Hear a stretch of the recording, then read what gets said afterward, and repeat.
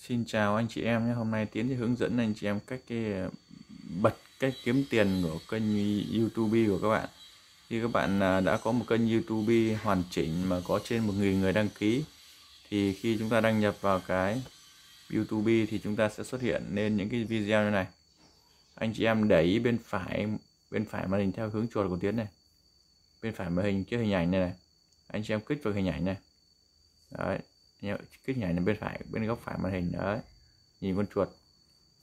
Đấy, anh chị em đã tìm xuống cái cái phần là YouTube Studio này. Cái này chỉ nào là trên máy tính thôi nhé đấy, anh em tích vào đó. Đấy cái hướng dẫn anh chị em, bởi vì đặc biệt anh chị em bây giờ rất nhiều các cái dự án, anh chị em mới lên cố gắng làm các video xong là, ví dụ như dự án về Crow One này anh chị em nào mà làm YouTube anh chị em bật kiếm tiền về Crown thì rất nhiều người tìm cái từ khóa Crown như vậy. Đây là một cái kênh một cái từ khóa rất tốt để cho anh chị em là tạo được thu hút cái lượng đăng ký và cái review của mình. Anh chị em hãy à, sau đó khi đăng nhập vào đây rồi anh chị em nhìn về cái chữ video này. Đấy, và tiến này tiến sẽ đặt là cài đặt cái cái cái cái, cái chế độ quảng cáo kiếm tiền cho anh chị em ở video đương nhiên là kênh của tiến đã bật video kiếm tiền rồi và đây là tiến bật cho anh chị em cái video này này. Từng video một. Đấy, một cái video này. Tiến ấn từ cái video này cảnh báo vì về Crown này. Anh chị em ở chế độ công khai, bây giờ đang đang đang tắt này. Anh chị em bật lên.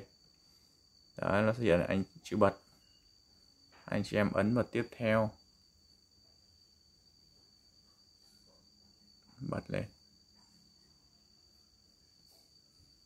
Đó, anh chị em hãy kéo xuống và tôi đọc các cái từ khóa này này.